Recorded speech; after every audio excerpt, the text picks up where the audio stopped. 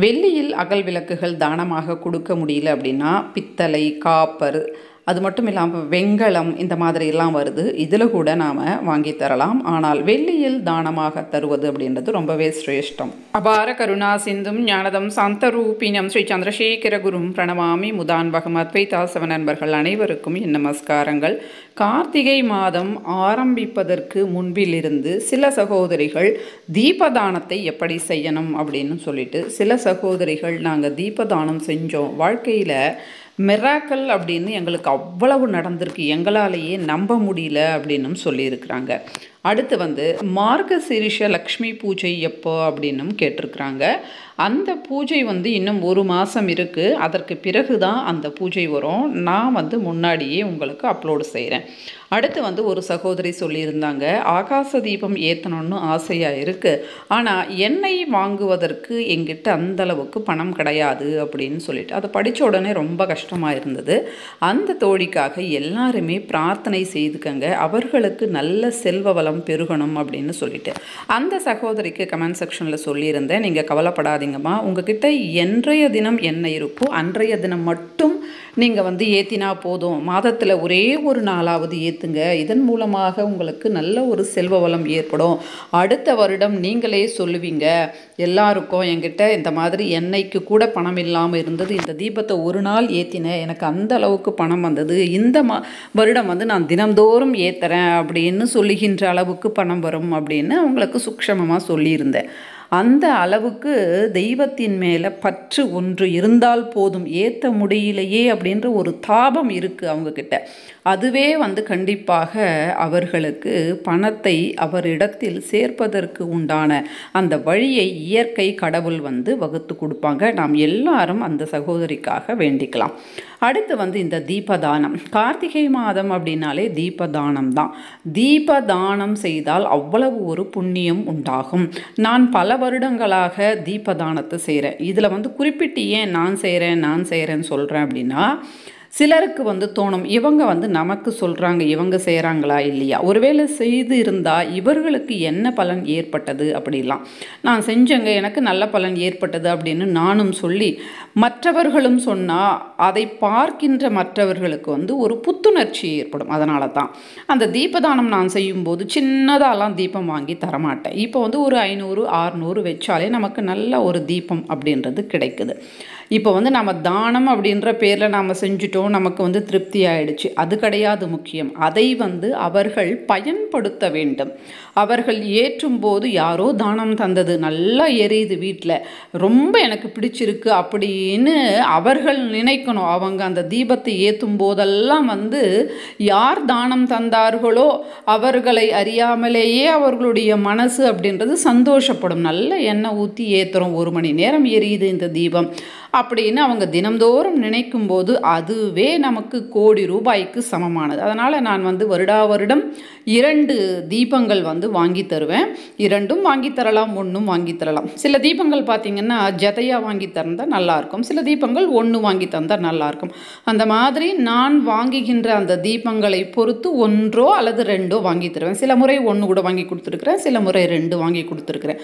ஆனால் அந்த தீபம் ஒரு அரை மணி நேரத்திலிருந்து ஒரு மணி நேரம் எரியும். வரை வந்து இருக்கணும். அந்த மாதிரி தான் பார்த்து நான் வந்து வாங்குவேன். அதாவது ஊரார் பிள்ளையை ஊட்டி வளர்த்தால் தான் பிள்ளை தானாக வளரும் அப்படின்ற ஒரு பழமொழி இருக்குது நான் எப்பொழுது எதை செய்தாலும் எனக்கு இருக்கோ இல்லையோ மற்றவர்கள் வந்து திருப்தி அடைகின்ற மாதிரி வந்து நான் செஞ்சுடுவேன். அது என்னுடைய ஒரு மனநிலை.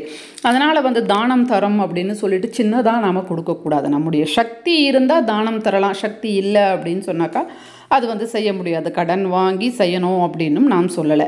புராணத்தில் நமக்கு கார்த்திகை மாதத்தில் தானத்தை தருவது தீப தானத்தை நிறைய தானங்கள் வந்து சொல்லியிருக்கிறாங்க. உங்களுக்கு வருகின்ற வீடியோக்களில் ஒவ்வொன்றா சொல்கிறேன் இந்த தீப தானத்தை பற்றி எல்லாரும் கேட்பதினால சொல்கிறேன் தீப தானத்தை புராணோக்தமாக எப்படி தரணும் அப்படின்றதையும் நம்மால் முடியல அப்படின்னா எப்படி தரணும் அப்படின்றதையும் நாம் இந்த வீடியோவில் பார்க்கலாம். முப்பது நாட்களும் தீபத்தை தானமாக தரணும். எப்படி தரணும் அப்படின்னா அரிசி மாவில் ஒரு தீபம் செய்தோ அல்லது கோதுமை மாவில் ஒரு தீபம் செய்து அதில் வந்து நெய் ஊற்றி திரி போட்டு அது வந்து எரியணும். அப்படி எரிந்து கொண்டிருக்கும் போது கோவிலில் இருக்கின்ற ஐயருக்குத்தான் தரணும். அதாவது கோவிலில் இருக்கின்ற ஐயருக்கோ அல்லது வெளியில் இருந்தால் கூட ஐயருக்கு மட்டும்தான் இந்த தானத்தை தரணும். அவர்கள் இடத்துல இந்த தானத்தை நாம் வந்து கொடுக்கணும். அது எரிந்து கொண்டே இருக்கும்போது அந்த தானத்தை வந்து அவங்களுக்கு கொடுக்கணும். இது வந்து நாம் காலையில் டிஃபன் எதுவும் சாப்பிடாமல் இருக்கணும். அந்த மாதிரி அந்த ஐயரும் சாப்பிடாமல் இருக்கணும். அப்போ காலை நேரத்தில் கொடுத்தோம் அப்படின்னா ரெண்டு பேரும் சாப்பிடாமல் இருப்போம். அப்போ அவருக்கு வந்து தானமாக தரணும். வெற்றிலை பாக்கு பழம் ஏதோ தட்சணை. தினந்தோறும் நம்ம கொடுக்கணும் இல்லையா? தினந்தோறும் நிறைய நம்மளால் வைக்க முடியாது. ஒரு பதினோரு ரூபாய் வச்சுட்டு தினந்தோறும் தானம் இதே மாதிரி நாம் வந்து கொடுத்துட்டு வரணும். கார்த்திகை மாதம் முடிகின்ற அந்த நிலையில் என்ன செய்யணும் அப்படின்னாக்கா ஒரு வெள்ளி தீபத்தை வந்து வாங்கி அதில் வந்து பொன் திரி அப்படின்னு விற்கிறாங்க என்னங்க நீங்கள் கேள்விப்படாததெல்லாம் சொல்கிறீங்க அப்படின்னா கண்டிப்பாக கிடையாது. கடையில் இருக்குது அதாவது வெள்ளி தீபத்தில் பொன் திரி மாதிரி இருக்கும். அதாவது கம்பி மாதிரி இருக்கும். அந்த மாதிரி திரியில் ப அதாவது இந்த பஞ்சு இருக்கு இல்லையா அதை திரிச்சுட்டு அந்த வெள்ளி விளக்கில் கோதுமை விளக்கோ அல்லது மா விளக்கோ நாம் வச்சு அவங்க தர அந்த தங்க திரியை வச்சு அதில் பஞ்சு திரியை வந்து இணைச்சோ அல்லது வெறுமனையை கூட நம்ம நெய் ஊற்றி தீபம் ஏற்றி தரலாம். தங்கத்திரி அப்படின்னும் போது ரொம்ப ஜாஸ்தியாக இருக்கும் அப்படின்னு நீங்கள் நினைக்க வேண்டாம். ஏன்னா அது சின்னதாக லேசாக லைட்டாக அப்படியே எப்படி சொல்கிறது உங்களுக்கு கடையில் நீங்கள் போயிட்டு கேட்டு பாருங்கள் சில அதாவது பழைய கடைகளெல்லாம் பார்த்தீங்கன்னா இருக்கும். அங்கே வந்து கேட்டு பாருங்கள் ரொம்ப லேசாக இருக்கும். சும்மா திரின்னா அந்த மாதிரி இருக்கும். அந்த மாதிரி ரொம்ப கம்மி விலையில் தான் இருக்கும். நான் வந்து ஒரு வேளை வாங்கினேன் இந்த முறை அப்படின்னாக்கா வீடியோ எடுக்க முடிஞ்சால் எடுத்து உங்களுக்கு காட்டுறேன். ஒருவேளை நீங்கள் வந்து அதை நீங்கள் கேட்டீங்க வாங்கினீங்க அப்படின்னா எனக்கு வந்து இன்ஸ்டாகிராம்லேயோ மெயில்லையோ ஷேர் பண்ணுங்கள் நம்ம நம்முடைய மற்ற சகோதரிகளுக்கு காட்டலாம். அது வந்து எரிந்து கொண்டிருக்கும் போது அதாவது வெள்ளி விளக்கில் மாவிளக்கோ அல்லது வந்து இந்த கோதுமை மாவு விளக்கோ வச்சுட்டு அது எரிந்து கொண்டிருக்கும் போது தட்சணை நல்ல தட்சணையாக வச்சு நாம் தினந்தோறும் எந்த ஐயருக்கு தரமோ அவருக்கு தரணும் ஒருவேளை அந்த லாஸ்ட் நாள் அவர் வந்து வரலை அவரை நாம் பார்க்க முடியல அப்படின்ற பட்சத்தில் வேறு ஒருவருக்கு தரலாம். இது தீபதானம் நம்முடைய புராணத்தில் சொல்லப்பட்ட சாஸ்திரோக்தமான ஒரு முறை.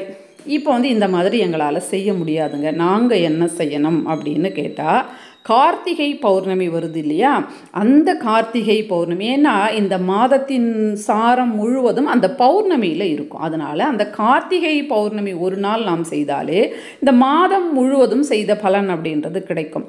அதுக்குன்னு எல்லாருமே அப்படி செய்யக்கூடாது. முடிக முடிஞ்சது அப்படின்னா தினந்தோறும் செய்யலாம். முடியல அப்படின்னா அந்த மாதிரி செய்யலாம். அதனால் தினந்தோறும் தருவது தான் சாஸ்திரோக்தம். உங்களுக்கு நான் ஃபஸ்ட்டே சொல்லிட்டேன்.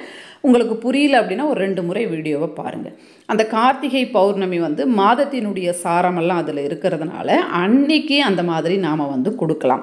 அந்த மாதிரி கொடுக்கும்போது நேத்திர சம்பந்தப்பட்ட நோய்கள் அதாவது கண் சம்பந்தப்பட்ட நோய்கள் அப்படின்றது நிவாரணம் ஆகும் அடுத்து அக இருள் அப்படின்னு சொல்லுகின்ற அந்த இருள் அப்படின்றது வந்து நீங்கும்.